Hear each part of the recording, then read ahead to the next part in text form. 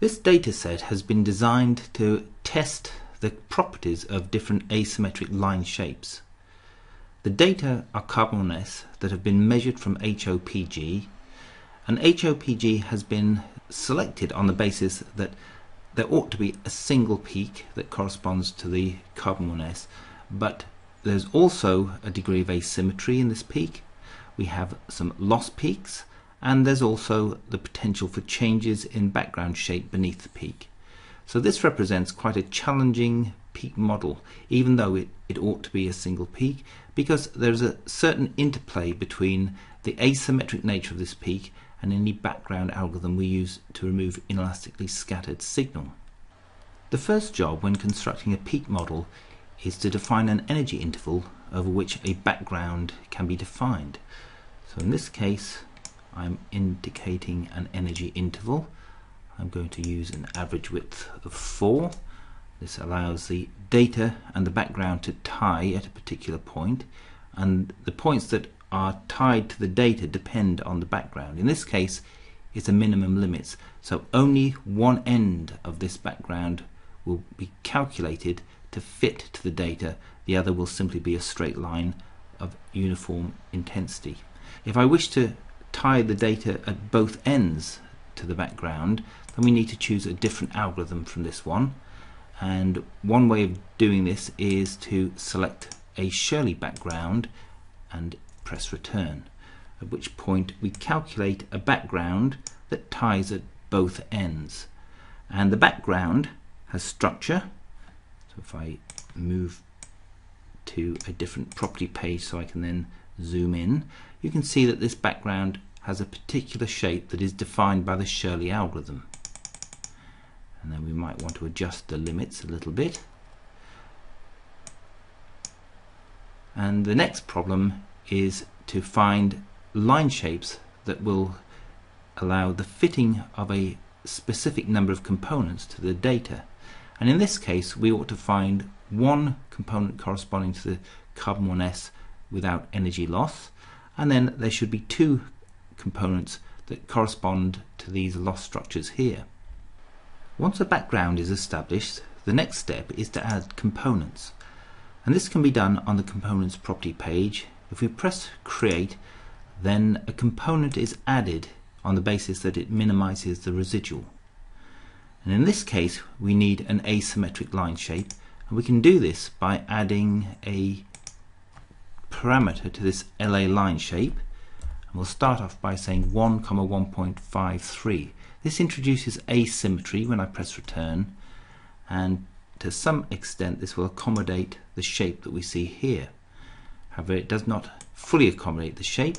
So we need to do a few modifications such as reducing the Gaussian contribution. And let's say fit again and then maybe introduce a little bit more asymmetry. And this can be achieved by making the first parameter less than unity. So if I make that 0.9 and press return we get a new line shape and it is attempting to accommodate the asymmetry that we see here. If we now look back at these loss structures and add some components here. So if we zoom into where we see the loss structures then the peaks will be added based on where the residual is the greatest and that was at this point within the visible zone that is. And then I can press create once again and produce a second peak which if we say fit we end up with at least a nominal fit for these data. We can see what the residual looks like this residual is not as good as one would like the aim for the residual should be about unity and in this case we're significantly more than unity and we can see why. The asymmetry and also the wing to the right hand side is a little shy of what the data is actually expecting and so what we need to do is make some modifications to the line shape. When we look at the components property page we see one of these parameters the width half maximum for one of the components is showing red and this indicates that it's up against a, a constraint limit So in this case, we've got a value of 2.24, so it's very close to that. And if I release that, and perhaps just verify that the other one is indeed broader also, I can say fit, and that too will cause a change to the way these data are fitted. Now perhaps that was a mistake because it's clearly broader than I really need for this component. So what I'll do is I will adjust this and then I'm going to fix this limit at about 3. I think I'll do the same for the other one. So these are the two loss structures. Let's try fitting again. Alright, so now we have a situation where although it's up against the limit, it does seem somewhat reasonable. And the reason it was broader was because the asymmetry was not taking up signal that it ought to do. So how do we go about working out the line shape that would correspond to this asymmetry? And one tool for doing this is the test peak model button. So I'm going to make use of the test peak model button by selecting the line shape that I'm interested in testing and then selecting the button. And what I'm going to do now is sweep one of these parameters by entering square bracket, open, close square bracket and pressing return. And that introduces a range that is about the value that was originally here and is now plus or minus 10% of what it was. So when I do a scan, what will happen is this asymmetry parameter that is associated with the right hand side will be scanned and hopefully I will see some changes in the way the line shape fits the data in this region here.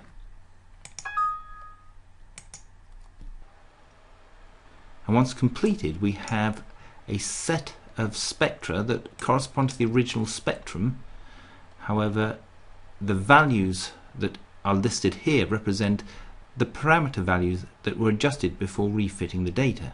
So if I scan down here, I should see in terms of the residual standard deviation, some variations, and I should see some information such as the residual showing me that the fit has improved at this point. Now let's just verify that the other components didn't do anything untoward and they have very much stayed in that position. So I've now obtained a better approximation to the data to the right hand side of the peak maximum. What I need to do at this point is work out an adjustment to the left hand side asymmetry that will also accommodate the data equally as well. So if I now select this and perform the test data again, I'm going to scan this one. Again, I'm going to do a 10% scan. I could enter values as you see here in a range that would allow a scan to occur on the basis of a specific choice. But if I just use the square bracket approximation, it'll give me a 10% scan. So we'll do that. And we have a new file that provides a new set of fits based on the new line shapes. So each one of these represents a different line shape and we can see here we have a minimum. So we do look like we're going to get a, an improved residual on the basis of this. And if I look down this list then I start to get somewhere about here. I've got the minimum. So now I've got what looks like a reasonable fit to these data.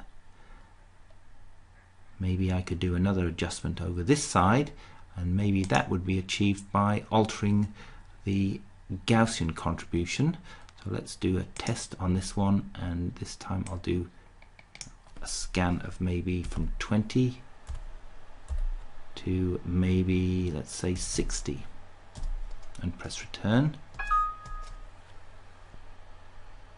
Let's have a look at the shape. It's again a minimum and if I scan down here I can see looking at the residual over here that I am obtaining improvements in the residual.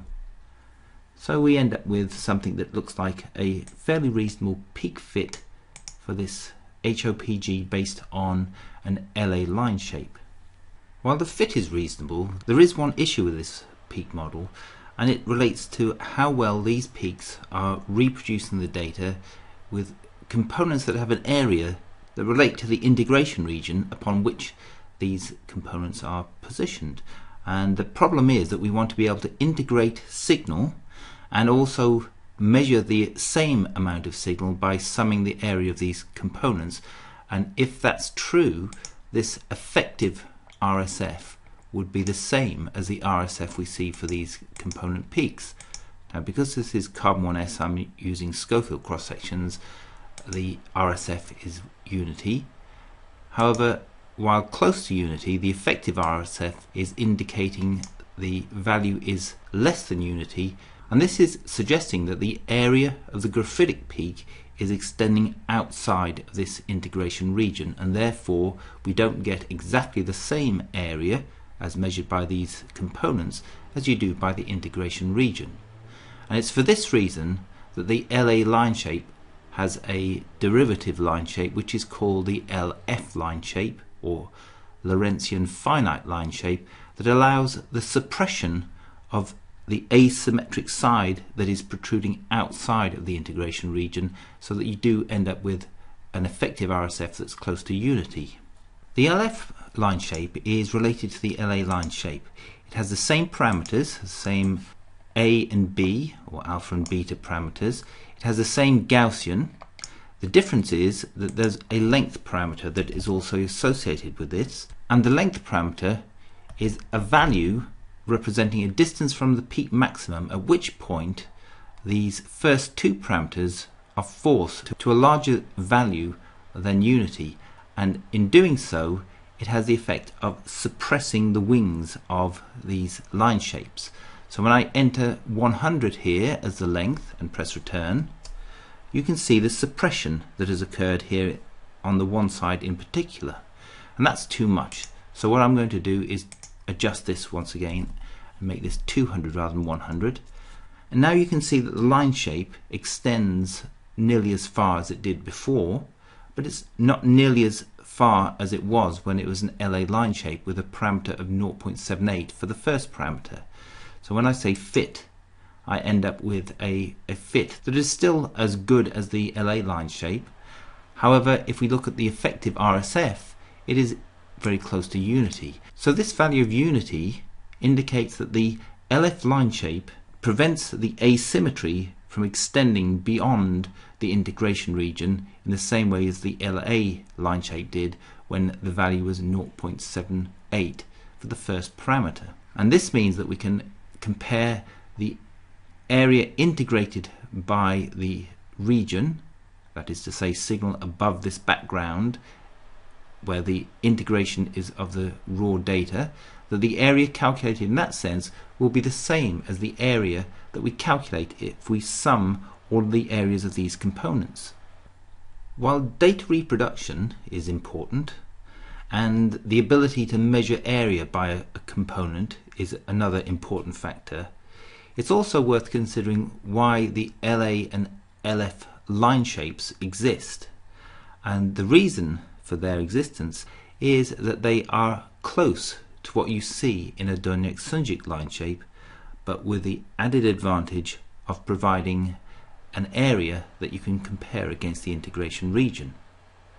The Doniach-Sunjic line shape introduces a shape which fits data very well but extends well beyond the integration region. In fact, attempting to use a Doniach-Sunjic line shape with a Shirley background has some interesting implications that are worth considering and this is what we'll do now. If we take a copy of the current state of this peak model we can then start working on it in terms of producing a similar peak fit using a Doniach-Sunjic. So let's take a copy and then we'll copy again so we can work on the Doniach-Sunjic approximation. And we'll do this by introducing a line shape that is not the LF but will be a Doniach-Sunjic line shape. And you can see from the extent of this parameter that this value has been determined by scanning a, a parameter. In fact, it doesn't need to have this kind of precision, but we'll leave it nevertheless and press return. We end up with a line shape that is associated with a Shirley background but not one that could be fitted if I simply press fit because you can see the Doniach-Sunjic line shape is lifted well above the data itself. So I'm going to lower this and then say fit. And we end up with a fit. Let's just adjust here too. That gives us a comparable fit to what we had with the LF line shape in terms of a residual standard deviation. And we end up with a pair of loss peaks. They are perhaps of a different shape. The shape we have here is not quite so good as we had before, perhaps. But we can now adjust this and see if we can understand why we have to have an offset here in order to achieve a fit. In fact, if I carry on adjusting this offset, I end up with different fits. In fact, I start to produce a really quite a good fit. As you can see here now, the, the asymmetry has been accommodated and we have a residual standard deviation that is closer to unity than was achieved with the LF line shape. Again, we may have some differences in the shapes of these loss peaks, and we have an offset that requires the Shirley background to be significantly different. And you can certainly see that the effective RSF is far below unity, and that's an indication that this graphitic peak now is extending far beyond the integration region. The problem with the effective RSF is this offset in the Shirley background. Now one way of rectifying this offset is to introduce a third parameter in this DS line shape and we'll set that to say 60 and press return. And the effect of this third parameter is to remove from the Doniach-Sunjic line shape a Shirley background that is calculated from the Doniach-Sunjic line shape. So this means that we can now move the Shirley background up and attempt to fit again. And once again we start to get a good fit to the data and we also start to get an effective RSF that is very close to unity. So there could well be different adjustments that need to be made but fundamentally the Shirley background if subtracted from the Doniach-Sunjic line shape produces a shape that is very, very similar to the LF line shape. However, you can also see here that the Doniach-Sunjic line shape, if modified by this removal of the Shirley, allows a Shirley background to produce an integration region that is comparable to these components that are making use of a Doniach-Sunjic line shape. So this parameter here is the third parameter that will allow the removal of a Shirley type shape from a Doniach-Sunjic line shape.